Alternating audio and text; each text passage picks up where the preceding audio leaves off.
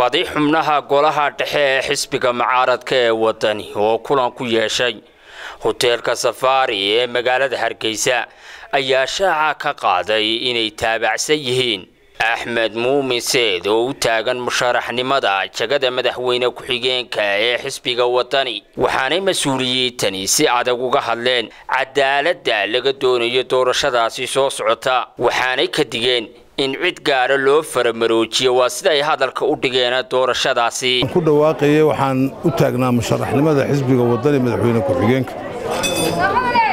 Waxaan uga tanaasulay walaalkay axmed muumin seed taasoo xeerka galbeedkana ku qotonta oo galbeedku xeer gaar u leeyahay haddaan beelaha gadabuusisaan horeba u sheegay.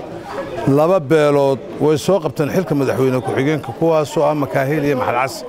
Habar cafaanna maanta u taagan tahay anigoo inaad irka sharaxan yahay waxaan garab taaganahay axmed muumin seed. Waxaan jecelahay maanta inaan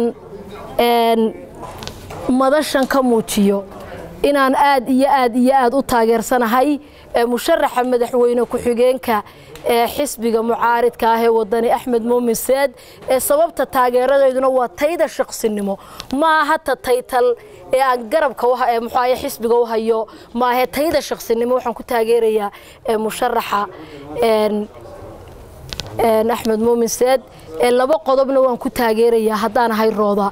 Laba erayo isagu codsaday oo ah ha igu hiilinina cadaalad darro iigu hiiliya cadaalad haddaan ku taaganahay. Dimuqraadiyadda ha la ilaaliyo iyo maaragtay daacadnimada in si daacada si wanaagsan ay ugu dhacdo oo aan maaragtay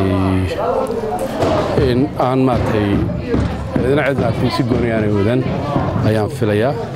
Labada nin ee walaalahana waa in loo xaqsooro oo dee idinkaa garanaya qofka dooranayaana xaq buu leeyahay codkiisa cidda u siinayo. Keliya waxaan ka digaynaa war ha laga daayo brobagandada ee foosha xun leh. Ee qaarkii ay leeyihiin axmed baa kulmiye lacag ka bixiyey. Lacagta annagaa bixinnay cid kulmiyo oo raad ku leh ma jirto kulmiye annagaa ka nimid challenge baana noo dhexeeya. Mana dhici karto. Si aan nagu soo galo. Axmedna ma soo galayo. Odayaashiisii baan nahay. Ha laga daayo waxyaabaha nacasnimada. Ha noqoto waxyaabaha robagando ha noqdo mid toosan. Inaan joogo qabanqabadii loo qabanqaabinayey musharaxa madaxweyne ku-xigeenka axmed muumin seed. Anigu waxaan ku talin lahaa haddii aan nahay xisbiga wadani aan garabka haweenka nahay in xisbigu cadaaladda ka shaqeeyo. Afartaa sannadood kolley umun husayd juhdi badan iyo dadaal badan buu geliyey. Waana loogoy gudahi dibad baa laga ogyahay kursiga mar labaad saddexaad xoranaya hadduu khayr lahay ilaaha siiyo hadduu sharna ilahay ka gudbo waan taageersanahay musharaxa axmed muumin seed oo ah nin keliya oo qalma. Haddii xisbiga wadani uu doonaya cadaalad ama isbeddel cadaaladdu waxay ka bilaabanaysaa sida muumin seed loo doorto. Dhammaan halkan maanta waxaan isugu nimid xaflad weyn oo aanu ugu muujinaynay sida sambatiga ugu hayo dadka qurbajooga ah haddaanu nahay special u k.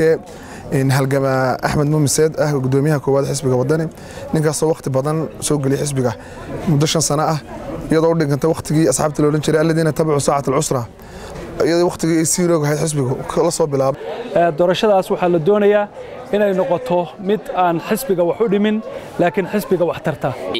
Ugu dambayntii musharax axmed muumin seed ayaa si weyn ugu mahadnaqay mas'uuliyiintani maanta taageeray.